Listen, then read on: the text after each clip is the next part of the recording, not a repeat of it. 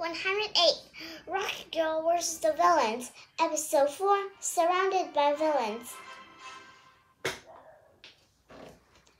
Mrs. Wiggles grinned. We're so happy to see you, Rocket Girl. Our plan is to start you out of school. Mrs. Presto chuckled. That didn't work, but luckily you showed up anyway. What do you want? Roxy demanded. Dr. Odd cackled.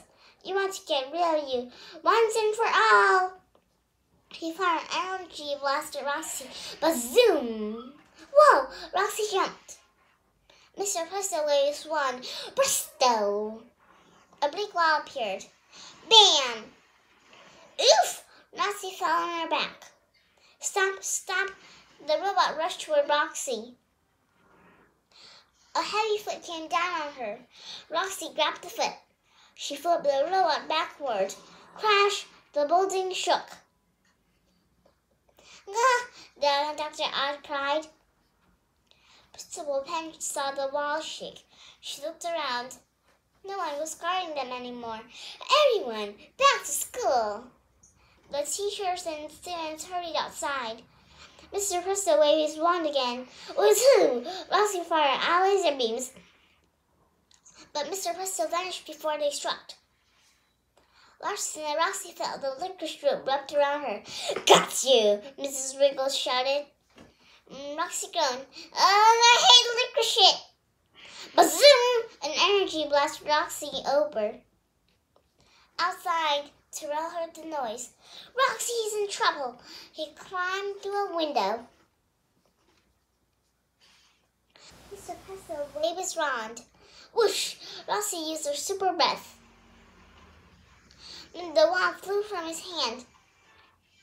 Terrell caught it. Roxy smiled. Terrell! Don't move! Terrell pointed the wand at the magician. Mr. Presto waved his wand. Don't cast a spell on me! Mrs. Wiggles dropped the liquor rope and ran for the door. You'll never catch me! Roxy quickly freed herself. Whoosh! She swung out. She swung the licorice rope and caught Mrs. Wiggles. No! The villain cried. Roxy heard her heavy footsteps. Dr. Odd was running toward Terrell. Get my wand! Mrs. Presto yelled to Dr. Odd. Wazoo! Roxy fired all laser beams. The robot exploded and Dr. Odd lay on the floor moaning. Roxy quickly tied the villains with the licorice rope. Then she turned to Terrell. Thanks for the help. Ready to fly? Terrell's face lit up. Roxy had Terrell with one hand. She held the bundle of villains with the other. Whoa! Terrell laughed as he and Roxy soared over Metro City. They dropped off the villains at the prison. Then he and Roxy returned to school.